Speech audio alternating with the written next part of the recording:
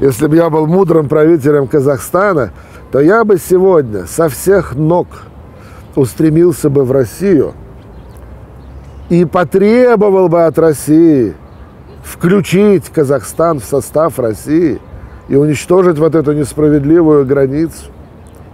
Потому что в противном случае произойдет раздел Казахстана.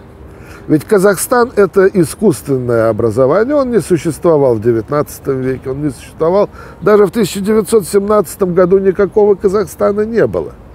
Больше того, я скажу крамольную вещь, но это научная истина. Никакого казахского народа, никакой казахской нации тоже не существует.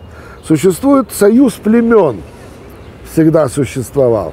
Помните, как Державин обращался к Екатерине Великой в своей оде Фелица, богоподобная царевна киргиз-кайсадские орды. Вот киргиз-кайсадская орда – это союз племен. Старший жуз, средний жуз, младший жуз. Более 20 племен, из которых, грубо говоря, там 9 племен монголоидных, 14 племен тюркоидных.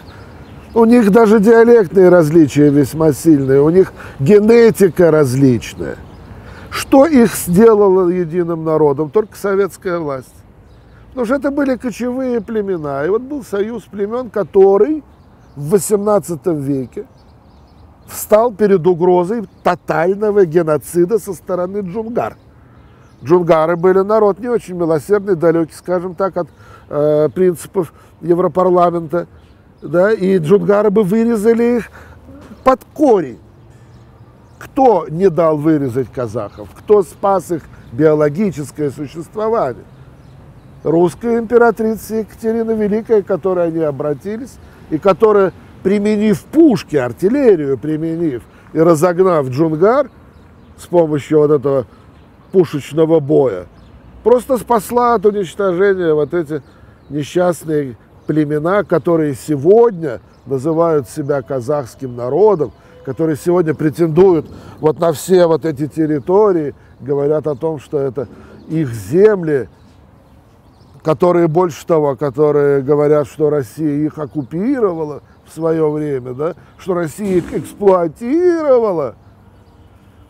Знаете, есть такой феномен, который англичане, давно английские ученые подметили, он называется колониальная неблагодарность. Вот в данном случае мы сталкиваемся с ярким примером той самой колониальной неблагодарности.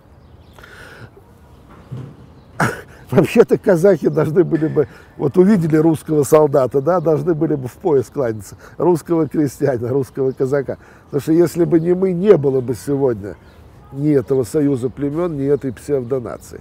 Поэтому нужно ясно понимать, что уж если сегодня Украина ставит вопрос о федерации, да, то тем более федерацией по факту является Казахстан.